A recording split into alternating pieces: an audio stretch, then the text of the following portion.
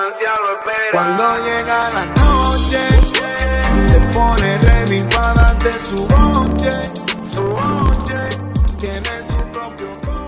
Hi guys, welcome back to my channel.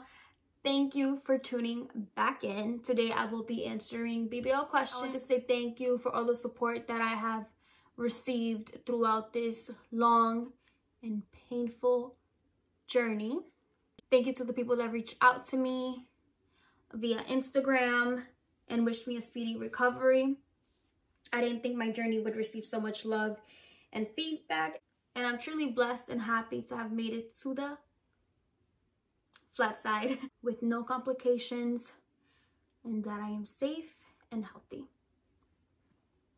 Thank you, Jesus. Now let's get to it. so we have an audience today. This is Lucky and this is Luna. I promise they will be quiet. All right, so the first question. Oh, and by the way, I'm sitting on a boppy pillow. I'm not sitting on my butt yet. I can't sit on my butt yet. So my butt is literally in this circle.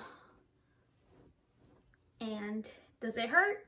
Mm, like the sides hurt, like where the hips are.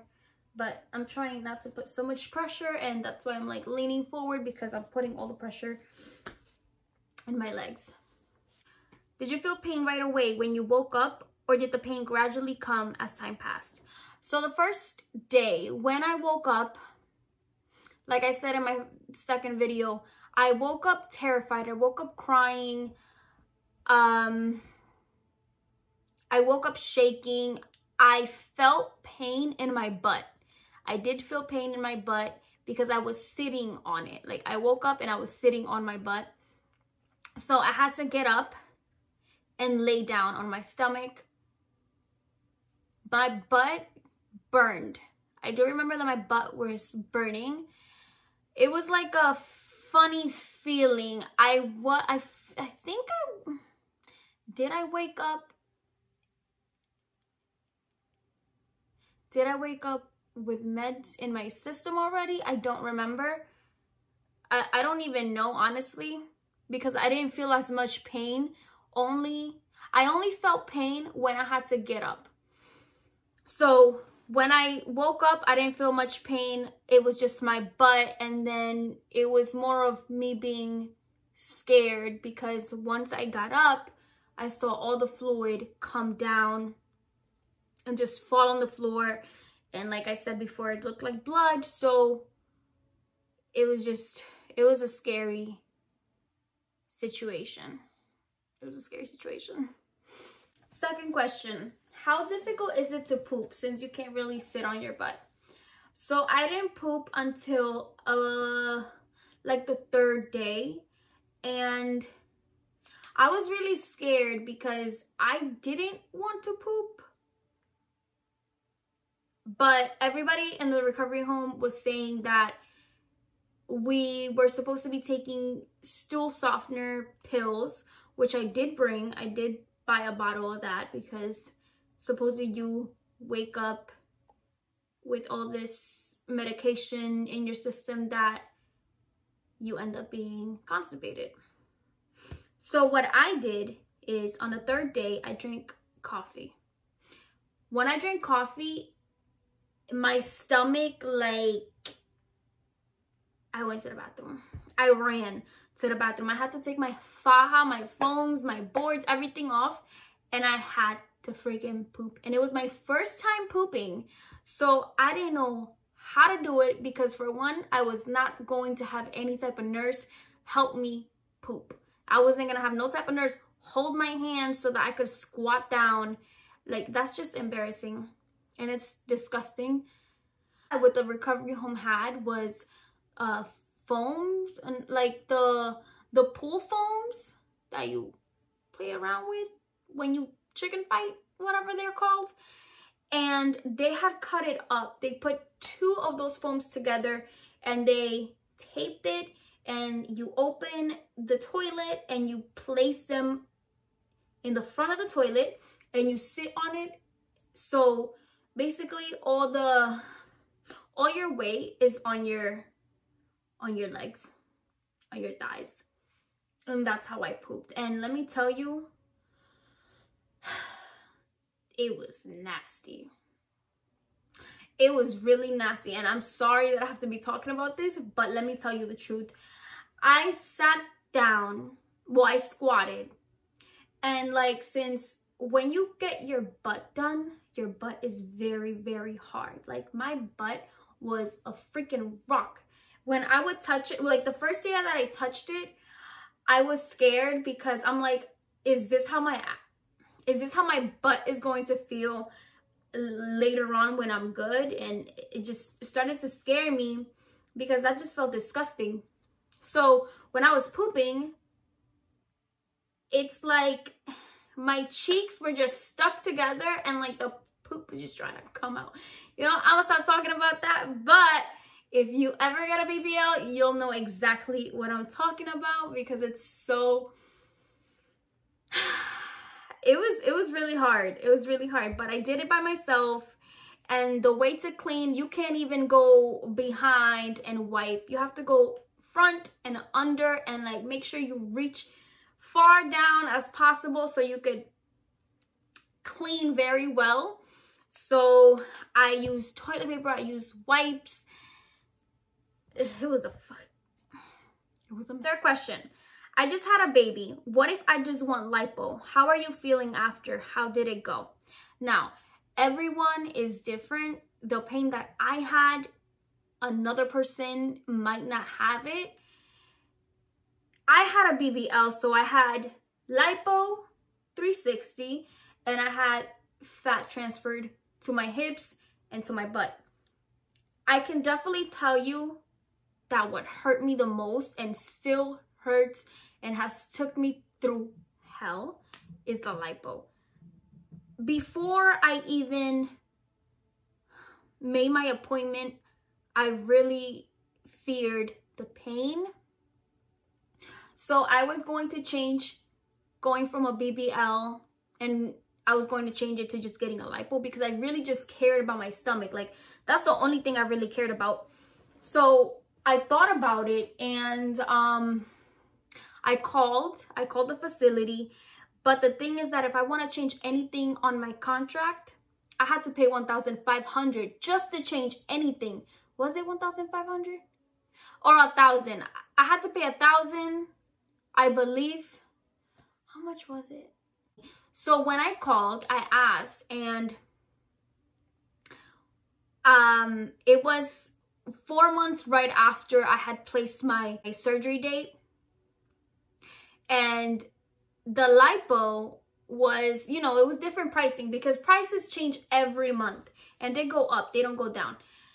So when i called the lipo was more money than the bbl that i had already scheduled for because i had already closed my contract to getting a bbl so for me to change from a bbl to a lipo i had to pay more so I left it as that. I, what, I didn't want to get a BBL anymore, but I was not going to pay just to change my contract to sticking to lipo. And I only wanted to do that because I didn't want to go through the pain because I just, I was being a puss about it. But the lipo did hurt because the stomach, stomach, my stomach is sensitive. Like right now, I have, I'm wearing a bra under, but um, I have my faja and I today I made it to my last row here but I have a little waist belt so that I could compress more because I'm not wearing my foams right now honestly those, those things are so annoying but I gotta get back to it tomorrow but yeah so the stomach stomach is what hurt me the most my stomach and it still hurts when when you sleep your back it's like you have this like I was I was used to sleeping on my back, but somehow with this surgery, I can't. Like I can't take it anymore. I have to sleep on top of three pillows. And those are like these big ones right here. And then I would sleep with two pillows on my head. So I'm like, mind you, I don't even sleep with pillows. But for this, I had to. Were you scared? Did you have second thoughts? Honestly, this whole six months, I was happy. Let me take that back. I scheduled my appointment in July. Word got around and the news hit that my doctor had a death in August. From that point, I was scared. I was terrified. I wanted to cancel my whole appointment. I wanted to get my money back. I was over it. I'm like, you know what? Like, this is not for me. So I really like, I was overthinking it. And like, hearing that your doctor has had a death because of a BBL, it's like, you don't, I don't think you would want to continue. And honestly, like, like I said, if I wanted to cancel, if I wanted to change doctor, if I wanted to change anything, I had to pay a ton of money to do that. So I, there were nights where I would overthink about it and oh, I can't breathe because of this faja. All right, so there were nights where I would think about it and I would just be like, Erica, what are you doing? Like, the Lord brought you into this world. You look fine. Stick with what you have. But then my other side was like, go through with it. Like, stop being a punk. Stop overthinking. Get it over with. So there was times where I would cry and I would hit up my girls and I'd be like, yo, like, I don't want to do this. Like, my doctor dad just had a death. And it wasn't the doctor's fault. From what I remember, I think it was something with the patient being sick or lying about her health, something like that. Number five, what made you decision on getting a BBL done? Uh, I just, I wanted to take care of my back fat. My back fat was number one and my front, my stomach, it was horrible. I had arm lipo done too. You can't really tell. I'm still swollen from my arms and I'm still wearing a faja. So here we are. How long do you have to go without sitting on your butt? So usually they say three months. But if you really want to take care of your fat in your butt, I would say hold on, hold off the whole sitting part like use your BBL pillow, use your boppy pillow. Try to not just, try to not sit too much on your butt because you don't want to like flatten it. Not flatten it, but you know, let the fat settle for a couple months. Not just three months. I don't think that's enough. So for me, I am planning to sit until four to five months. Where did you get your stuff that you needed, like your shapewear? So my shapewear, I didn't get any shapewear before surgery. I got shapewear at the facility. I woke up in my stage one faja. And then once I felt better, which was um, my second week, I went to Pretty Girl Curves and I got my stage two. I did get my ab boards. I did buy my ab boards. One thing, actually, I'll bring that up later on. How long after did you fly back? So I stayed two weeks in Miami. I did not want to fly back after the seven days because you have to stay in Miami for seven days just to make sure that everything's okay with you. I didn't feel comfortable flying back too soon. Like I knew I was going to be in pain and I was. So I came back after two weeks, which I felt, I felt better. It, I mean, it sucked, but it felt better. And honestly, if you're thinking about getting a BBL and flying out, first class is not going to do anything for you. Every seat is the same thing because you're not going to be sitting on your butt. You're going to be putting all your weight in your legs. So don't go and buy a first class seat just because you have surgery. It's not really a big difference at all. What you would want maybe is um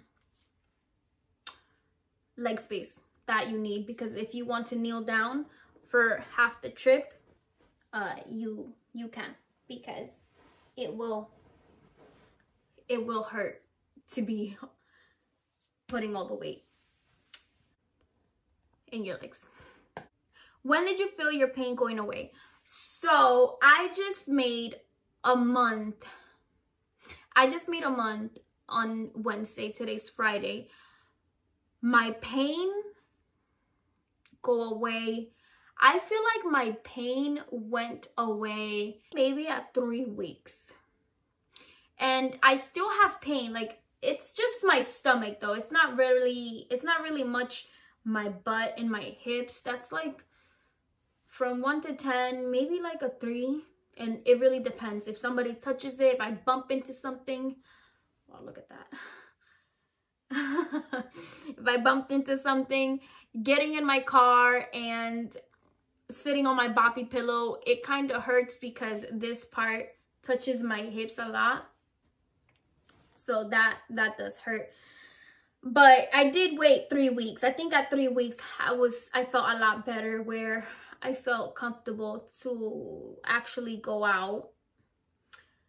Uh, now I just have pain, but it's just, it's just a lipo, honestly. It's just my stomach, especially when I'm sleeping, especially when I wake up.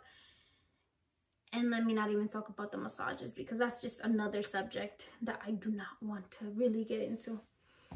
How long do you have to wait to have sex? So I can say that everybody's different. It really depends how horny you are, I guess. But for you to have sex, I, I, I, maybe at two weeks, like get into doggy position and just have the guy doing the work. And it has to be like very slow, gentle. You can't be going ham because if your butt is getting smacked too much, it can cause a dent. The fat is nowhere near settled, so you have to be very, very, very, very careful. What facility did you go to in Miami? So the facility that I went to is called Mia Aesthetics, Miami Aesthetics. Who was your doctor? So my doctor was Dr. Gray. Dr. Gray, the way I ended up finding him at Mia Aesthetics, I took a look at every doctor. I took a look at Dr. Mejio. I took a look at Dr. Alvarez, Dr. Fasuzi, I took a look at all the doctors in that facility. The way I ended up with Dr. Gray was because I saw that he was doing a lot of girls that had my height and had my weight. So I felt comfortable with him because everything that I was seeing with those girls is what I wanted. So based on me, with my weight, I was 146 and my height is 4'11". I was like, you know what, like he's for me because mm, one doctor that I really wanted was Dr. Mejio, but he was so, so, so expensive. And I'm like, yikes, not today. Yeah, so Dr. Gray was definitely the one. I was honestly so happy with him. He made me feel so comfortable. He really did a great job. How much was your BBL? All right, so my BBL was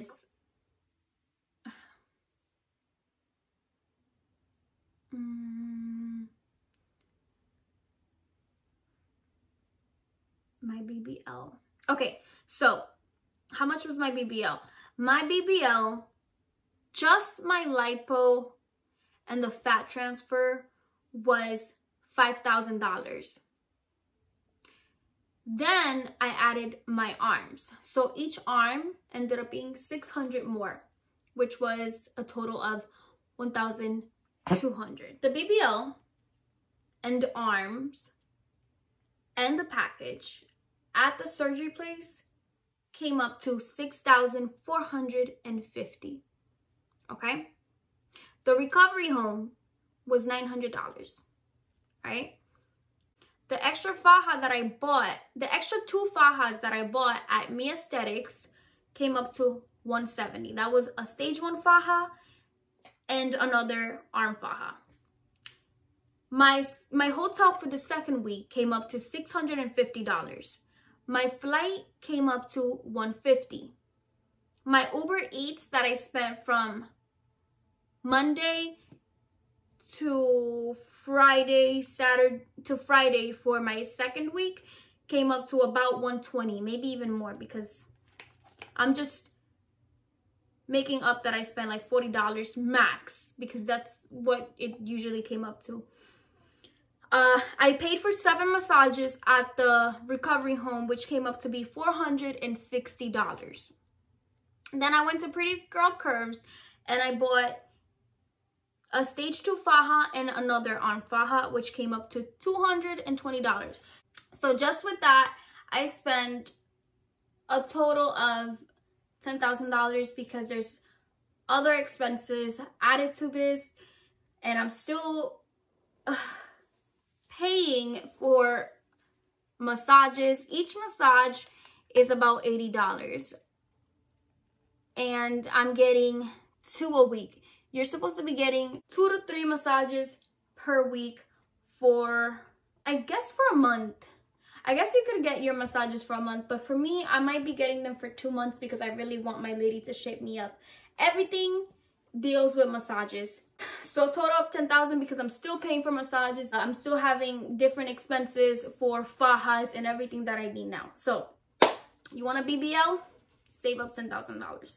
And let me just say that I never thought that I was going to spend $10,000 because I really thought at first that I was only going to spend 6,000 and 6,200 plus the massages, which maybe total, I thought I was going to spend a total of maybe $7,000, but no, no, not, not at all, ever. If you're gonna get a BBL, make sure you add $3,000 to those charges because it will happen. How long did it take you to save money for it? Now, I I didn't have to save money for it. I already had the money from my OnlyFans account. So thank you to all my OnlyFans fans. Um, y'all did it. Y'all did me. but yeah, um, my my BBL came from my OnlyFans. So that money was already there. The way I came up with this whole BBL thing is just I've been wanting it for a while, like I said, since high school and just last year was, I don't know how I came up with it, but I woke up one day and I was like, you know, fuck this. I'm going to make my appointment today and get this shit over with. I got the money. I'm going to do it. And it happened.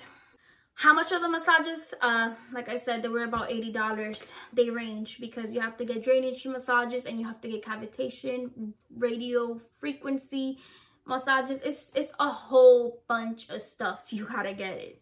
Please research because it's not going to just be the surgery that you're paying for. Why didn't you put that money down for a house? You looked fine before. I didn't want to buy a house. I wanted to get my body done. That's why. Now, if I wanted to buy a house, I could buy it there is no issue. I still have the money for a, a down payment for a house.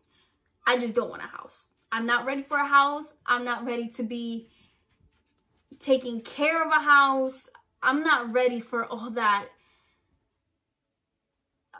It's just too much. I'm not ready for it. I, I don't want to deal with getting walls done, my porch, my garage, dealing with snow removal it's too much work. Um, I honestly, I love my apartment. I feel better living in an apartment because I get scared at night. I like a small space.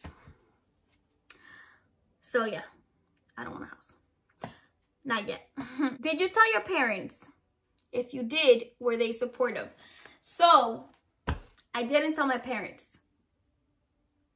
Lying. I did tell I did tell my dad. Two days before my surgery. So I didn't want to tell my parents because, come here, baby. So I didn't want to tell my parents. I didn't want to tell my mom because I didn't want her to go and tell my aunts honestly didn't want anybody knowing. I just wanted my friends to know. I believe, like I said, a lot in energy and evil eye and all of that stuff. That I didn't want bad energy coming my way. A BBL is nothing to play with. You're putting your life at risk. And that's something that I wanted to keep to myself until, you know, surgery was done and I was better. But I did, uh, after I really thought about it, I remembered how this girl died and how many other girls have died because of getting a BBL surgery.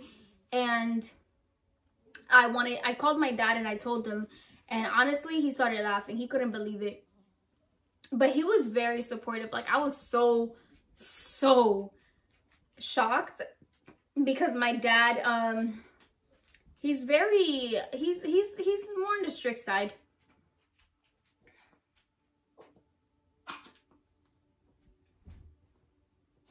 How much fat did they inject into you? So I got 1,500 cc's into each cheek. So I got 3,000 cc's for on my ass right now, sitting on my butt, on my ass, sitting on my butt. So yes, how much fat did they inject into you? 1,500 cc's on each cheek. What is the worst part of the surgery? So the worst part of the surgery, one is the first day because when you wake up and you get up, all that fluid is coming down. You're going to see it going down your legs, going down your socks, into your slippers, on the floor, and it looks like pure blood. Disgusting. Um, another part, my incisions were closing very fast. So my incisions were closing, they were they started to close around day four. So my massage lady had to open my front one. So she had to stick a uh, cotton swab into my incisions so that the liquid could come out because it had closed. Let me tell you, that liquid came out like that. Like it just squirted out. It was disgusting. Those are all the questions. I forgot to say, my recovery home, the recovery home I went to, I went to Lali's recovery home. Lali took great care of me. I would 100% recommend her if you are staying in Miami. If you are staying in Miami and you are going to Lali's, tell her that I sent you. She'll take great care of you. She, I honestly, I called her like my second mom because she was just so nice. She treated me so well.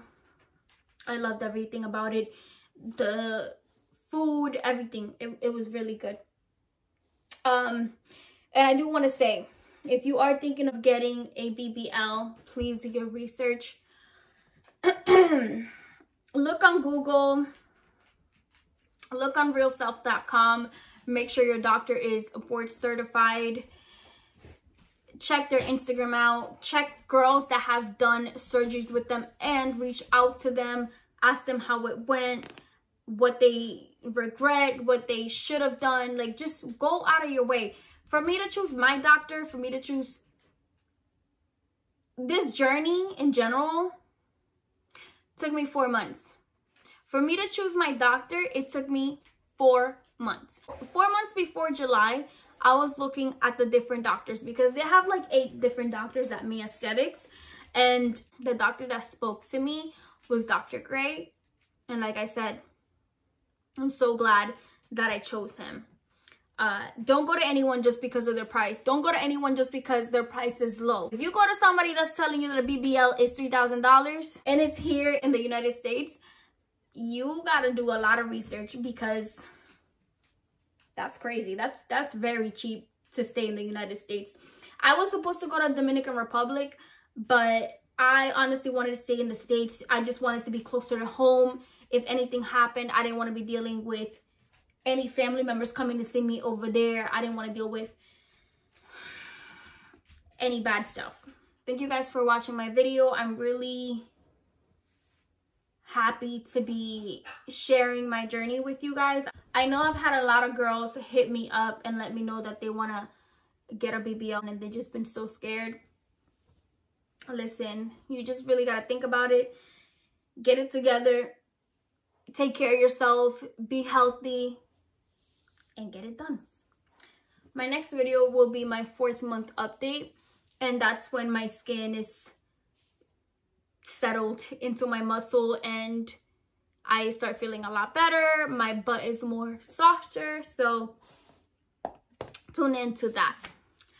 Thank you guys for watching. Like and subscribe and we'll have more content regarding my BBL. Bye.